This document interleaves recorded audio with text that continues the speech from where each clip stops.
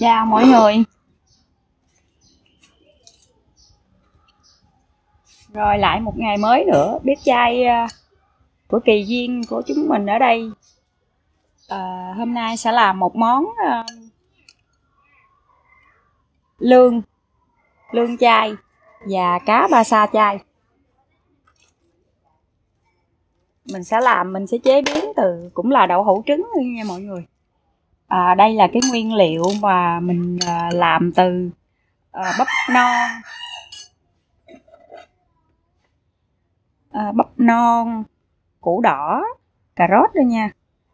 À, nấm à, bào ngư rồi à, nấm à, nấm giòn thịt dê hem rồi nấm đông cô.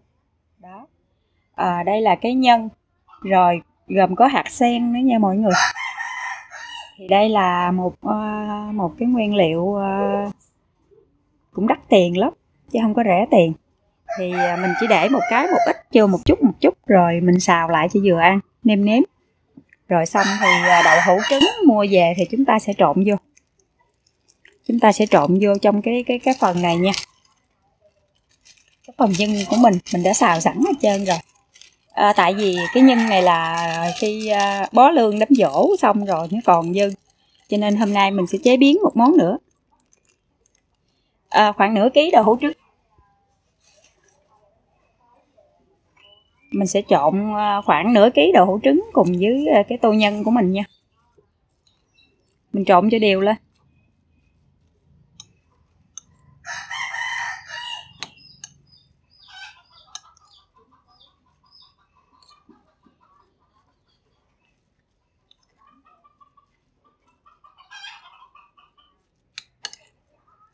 Có lẽ khi ờ, mình bó một con lương như vậy á, thì ờ, nó dư ra mình sẽ làm một con cá ba sa. À, còn nó còn dư nữa thì mình chỉ làm gọn gọn nhỏ thôi chứ mình không có làm to. À, tại vì làm cho hai người ăn thì mình chỉ làm một con cá nhỏ gọn và một con lương gọn thôi nha mọi người. Rồi cái phần còn lại thì mình sẽ làm chả. Mình sẽ làm chả đậu hũ trứng. Thì cũng từ cái đậu hũ trứng và những cái nhân này nó cũng rất là ngon rồi mình làm rồi mình hấp lên xong thì mình cũng để tủ lạnh mình để dành mình dùng hoài.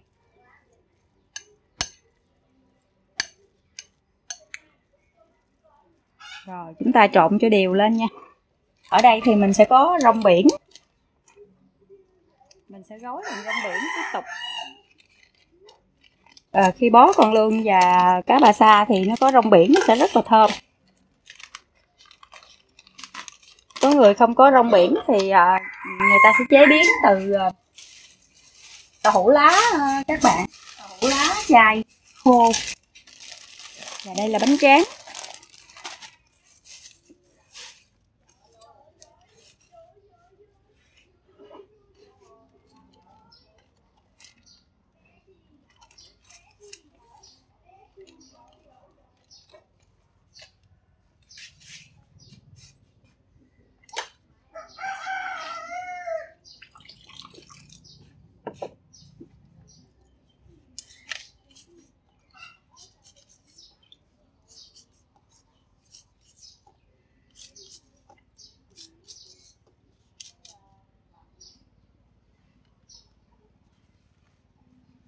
Cái miếng rong biển của mình mình sẽ ờ, cắt làm đôi. Và như thế này thì ờ, mình sẽ để nó một bề. Mình sẽ làm ờ, cá ba sa trước nha các bạn.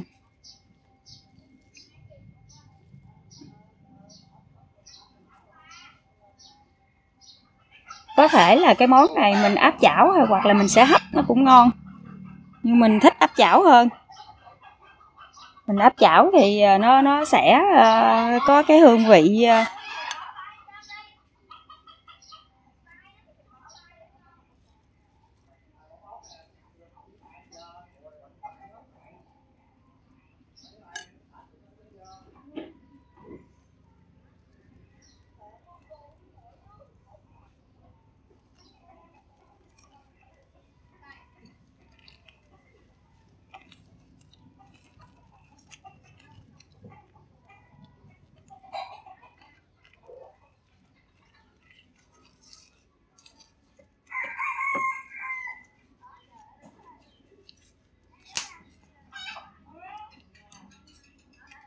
rồi, dễ thương không mọi người?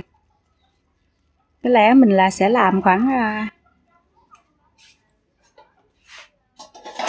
ở đây là cái chảo. Mình sẽ để trên lửa à, áp chảo nha.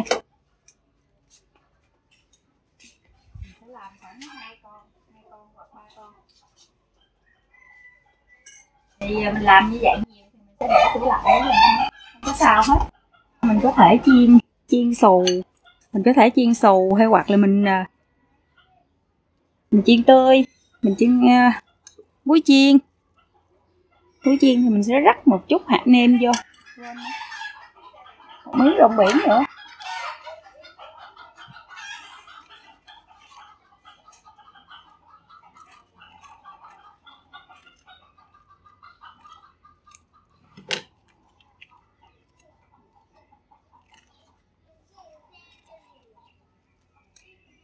Cái bánh tráng.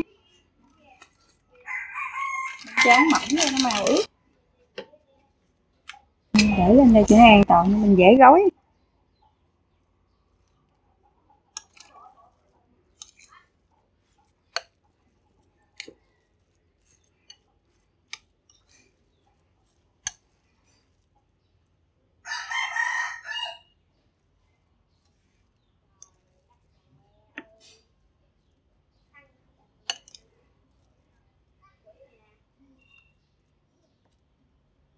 Tùy theo sở thích của mình muốn làm dày hay mỏng nha. Mình thì thích làm hơi mỏng thôi. Mình không muốn làm dày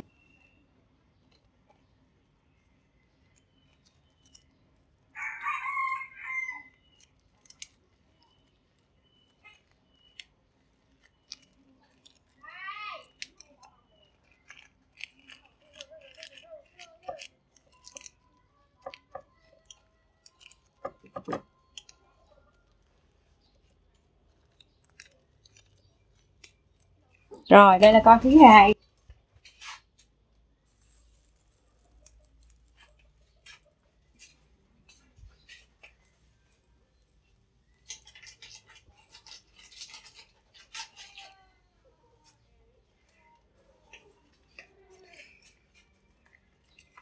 Để ngày hôm nay mình sẽ làm à, ba con cá và một con lương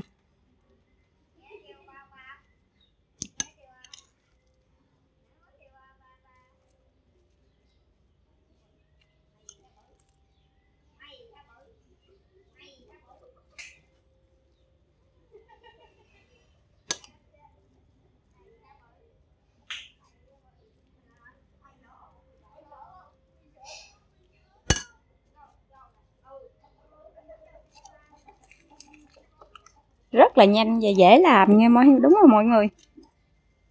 Các bạn thấy mình làm con cá rất là nhanh trong ờ, thời gian vài phút là xong một con. Bởi vì ờ, khi mình gói như thế này thì nó rất là nhanh. À, người ta cũng có thể là đem hấp nhưng mà ở đây thì bếp chai kỳ duyên mình thích áp chảo hơn. Mình áp chảo là cách nhanh nhất và rất là ngon. Thấy không? Mình hấp thì nó sẽ mất thời gian lâu hơn, mình áp chảo thì như vậy khi mình muốn chiên lại nó cũng dễ. Thì bây giờ à, mình bó con lươn thì mình sẽ cho cái chiều của cái bánh tráng này hai cái.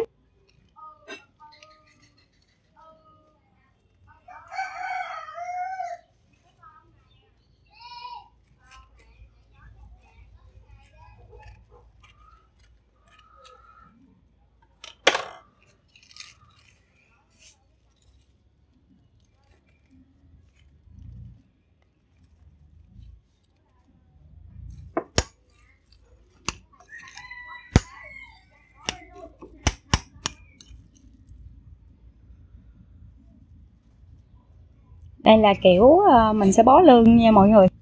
À, khi con lương này thì ờ, mình cũng đem áp chảo đi cho nó dẻ lại. Rồi xong sau đó thì mình sẽ nấu canh chua hay mình chiên tươi gì nó cũng ngon hết. Thì chúng ta sẽ bó theo cái chiều dài giống con lương.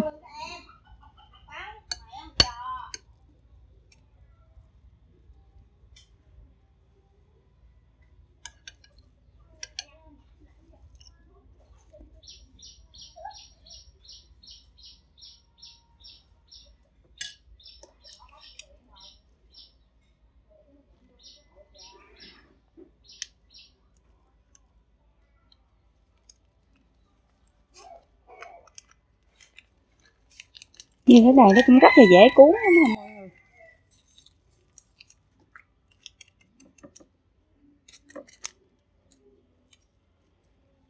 Rồi, mình sẽ từ từ để mà mình cuốn cho nó dẻ. Vì nó hơi có chiều dài, cho nên mình sẽ làm nhẹ nhẹ từ từ để cho nó đều. Chết cha, chỗ này nó bị lùa, xì ra. Nhưng không sao. Mình lấy miếng bánh tráng mình dán chỗ này lại nha. Giá nó lại. Mình làm thì cũng có khi nó cũng sẽ là sự cố mà, phải không mọi người? Cho nên miếng bánh tráng chỗ này để mình giá nó lại để bánh tráng nó mỏng quá nó dễ bể.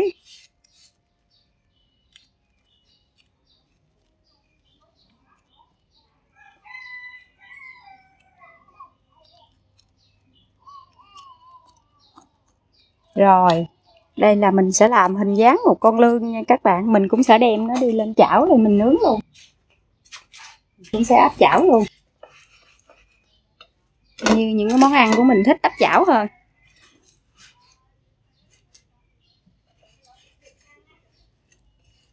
hấp cũng được vậy, hấp cũng ngon nhưng mà mình thích áp chảo hơn. Áp chảo như thế này khô thì mình sẽ để vô tủ lạnh, mình ăn lâu dài cũng được rồi, thì đây là hình dáng con lương và đây là ba con cá.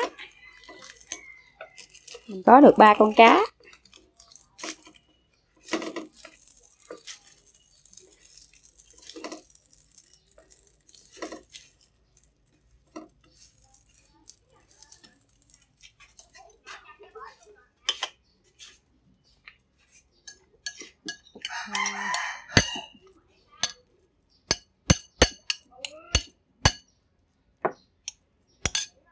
Ờ, mình sẽ làm thêm ờ, một con cá nữa đi.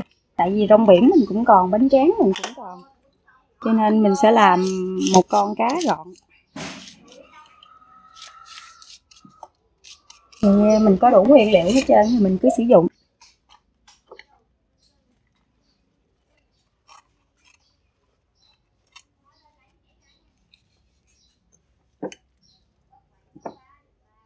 Thì như vậy là mình sẽ có ba con lương một con lương và ba con cá. Cho nửa ký tàu hũ trứng và khoảng à, 200 cà gram à, nhân. Thì à, mình làm con cá này nó nhỏ gọn thôi, nó không có to như hai con cá trước. Vì còn nhiêu thì mình làm bao nhiêu, bấy nhiêu.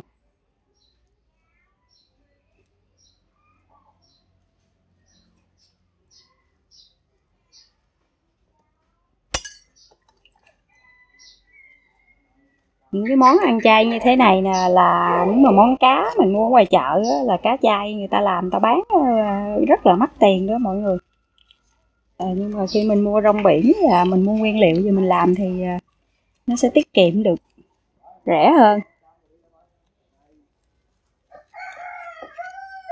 Đó. thì con cá này nó cũng sẽ nhỏ gọn hơn hai con cá trước. Cũng dễ thương đáng yêu mọi người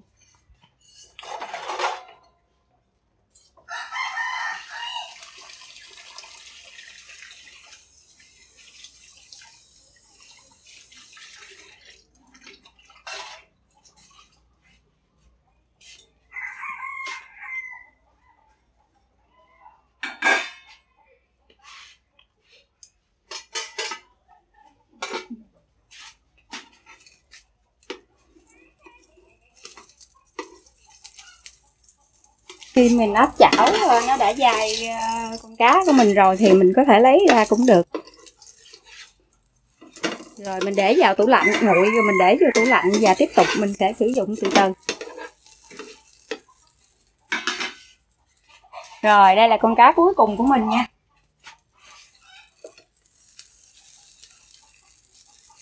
Mình ờ, nướng lửa rất là nhỏ đó mọi người.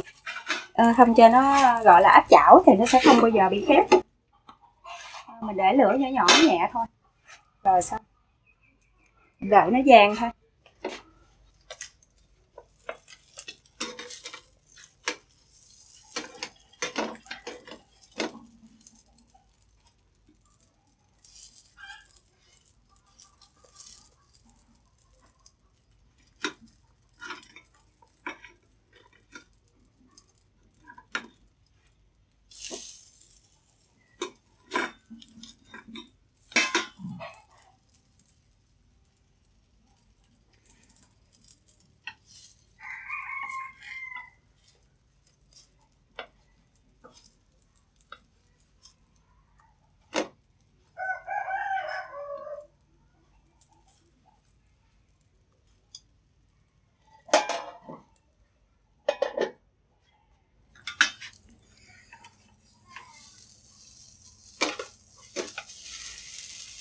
Rồi, cái món cá áp chảo của chúng mình đã xong. Nhìn rất là hấp dẫn. Và ngon đúng không mọi người, đậu hũ trứng nó phình lên cũng rất là đẹp. Rồi, đây là một con lương chai. Rất là dễ thương nha mọi người. Ngày mai mình sẽ nấu canh chua lương đó. Canh chua lương ngày mai mình sẽ nấu cho mọi người xem nha. Rồi, xong.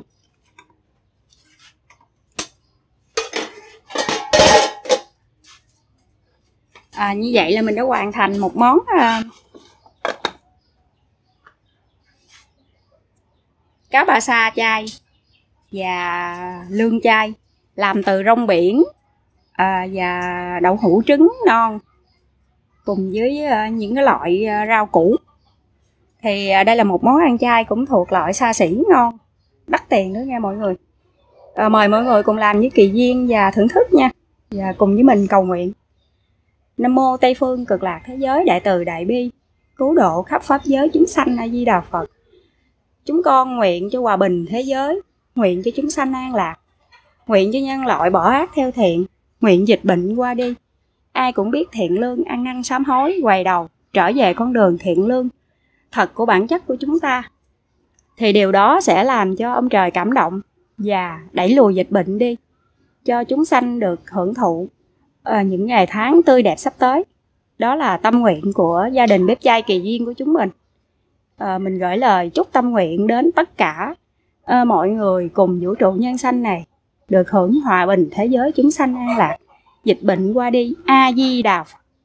Đà phật rồi mời mọi người cùng thưởng thức nha mình có thể chiên ngày mai mình ăn với nước tương chua thôi hoặc là cái này là mình nấu canh chua.